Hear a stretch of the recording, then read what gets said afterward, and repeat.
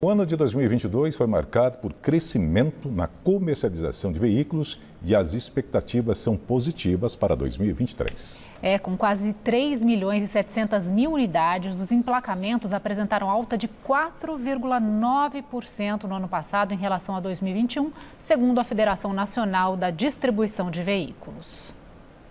A FenaBrave apurou que o volume de vendas do segundo semestre de 2022 foi responsável por 55% dos emplacamentos do ano. O primeiro semestre, entretanto, foi mais desafiador, principalmente para as linhas de produção, que sofreram com a crise de abastecimento de semicondutores. A guerra, o Covid, todos esses fatores, eles desestruturam a logística. Por exemplo, um container levava, exemplo, 15 dias para vir da China para cá.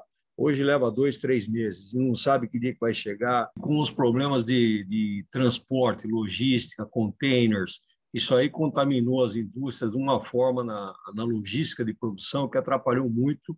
Perdemos muita produção de veículos e foi um ano conturbado. Porém, mesmo assim, a gente fez praticamente o mesmo número de 21. Entre os segmentos, as motocicletas se destacaram. Foram mais de 1 milhão e 300 mil emplacadas, comercializadas seja como veículo de trabalho ou transporte individual. Já as vendas de caminhões e ônibus aumentaram, mas devem permanecer estáveis este ano, enquanto de carretas devem cair. Está muito nebuloso ainda esse começo de ano fazer qualquer previsão, entendeu? Ah, porque, veja, na China, ah, o Covid deu uma arrefecida, né? É, aumentou o Covid lá, tem algumas indústrias parando, outras você não sabe exatamente o que está ocorrendo.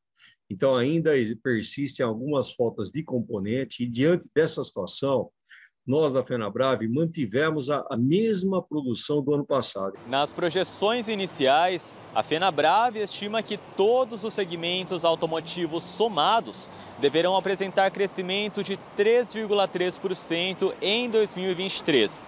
Mas isso depende, obviamente, do cenário econômico.